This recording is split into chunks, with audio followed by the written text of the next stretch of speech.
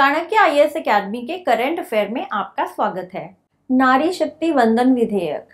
नए संसद भवन की पहली कार्यवाही में नारी शक्ति वंदन विधेयक पेश किया गया।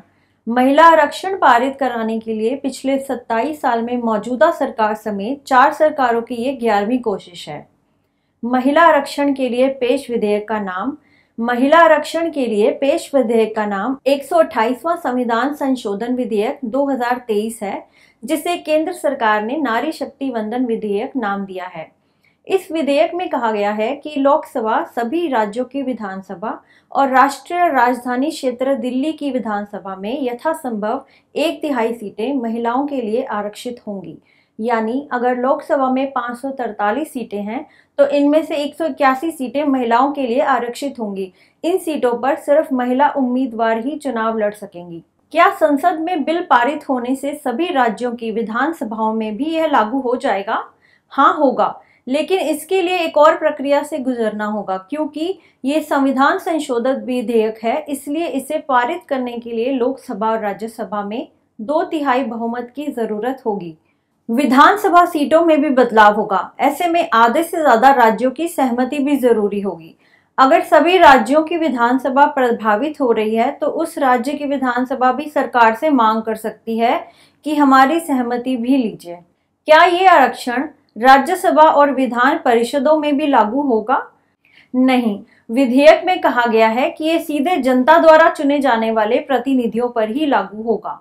इसका मतलब है कि ये आरक्षण राज्यसभा या सभी छह विधान परिषदों पर लागू नहीं होगा। इस विधेयक में लोकसभा, राज्यों की विधानसभा और एनसीटी दिल्ली की विधानसभा शामिल है। यह आरक्षण क्या आगामी पाँच राज्यों के विधानसभा चुनाव और 2024 के लोकसभा चुनाव में लागू हो पाएगा? विधेयक में साफ़ तौर पर लिखा है कि महिलाओं के लिए एक तिहाई रिजर्वेशन, डिलिमिटेशन यानी परिसीमन के बाद ही लागू होगा। विधेयक के कानून बनने के बाद जो पहली जनगणना होगी, उसके आधार पर परिसीमन होगा। 2026 से पहले परिसीमन लगभग असंभव है, क्योंकि 2021 में होने वाली जनगणना कोविड 19 की वजह से अभी तक नहीं हो सकी है। अगर आगामी पाँच राज्यों के विधानसभा चुनाव और 2024 के लोकसभा चुनाव समय पर हुए तो इसमें महिला आरक्षण पारित होने के बावजूद लागू नहीं हो सकेगा। क्या यह आरक्षण हमेशा के लिए है? लोकसभा और विधानसभाओं में यह कानून जब लागू हो जाएगा उसके बाद 15 साल तक अमल में रहेगा। उससे आगे रिजर्वेशन जारी रखने के लिए फिर से बिल लाना होगा और मौजूदा प्रक्रियाओं के तहत उसे पास कराना होगा। अगर 15 साल के बाद उस समय की सरकार नया बिल नहीं लाती है तो ये कानून अपने आप खत्म हो जाएगा। क्या एस सी महिलाओं को अलग से आरक्षण होगा? नहीं, एस सी महिलाओं के लिए आरक्षण एस सी कोटे से ही मिलेगा। इसे एक उदाहरण से समझिए। इस वक्त लोकसभा में एस सी के लिए आरक्षित सीटों की संख्या 131 है। महिला आरक्षण लागू होने के बाद इसमें से एक तिहाई यानी चौवालीस सीटें एस सी महिलाओं के लिए आरक्षित हो जाएँगी। बाकी सतासी सीटों पर महिला पुरुष कोई भी लड़ सकता है। क्या ओबीसी महिलाओं को अलग से आरक्षण मिलेगा? नहीं, इस विधेयक में ओबीसी महिलाओं के लिए अलग से आरक्षण का कोई प्रावधान नहीं किया गया है। कौन सी सीटों को महिलाओं के लिए रिज़र्व किया जाए, ये कैसे तय होगा? इसके तीन स्टेप्स होंगे। पहले ये बिल पारित होगा, उसके बाद जनगणना और फिर परिसीमन होगा। परिसीमन के बाद तय होगा कि कौन सी सीट महिलाओं के लिए आरक्षित होगी। सीटों का चुनाव रैंडम हो सकता है या महिलाओं की जनसंख्या के आधार पर भी हो सकता है। चूँकि ज़्यादातर सीटों पर महिलाएँ पुरुषों का रेशियो लगभग बराबर होता है, इसलिए आरक्षित सीटें रैंडम चुनने की संभावना ज़्यादा है। अगली बार के सीटों पर आरक्षण रोटेशन के आधार पर होगा। और हर परिसीमन के बाद सीटें बदली जा सकेंगी। इसे एक उदाहरण से समझिए। अभी लोकसभा में पाँच सीटें हैं। महिला आरक्षण बिल लागू होने के बाद इनमें से एक तिहाई, यानी एक सीटें महिलाओं के लिए रिज़र्व हो जाएँगी।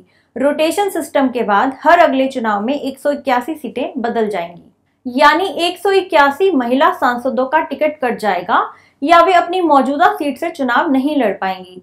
इसी तरह पिछले चुनाव की अनरिजर्व तीन सौ बासठ सीटों में से एक सौ इक्यासी सांसद चुनाव नहीं लड़ पाएँगे या उनकी सीट बदल जाएगी। इसका मतलब है, हर चुनाव में तीन सौ बासठ सांसदों का या तो टिकट कट जाएगा या उनकी सीटें बदल जाएँगी।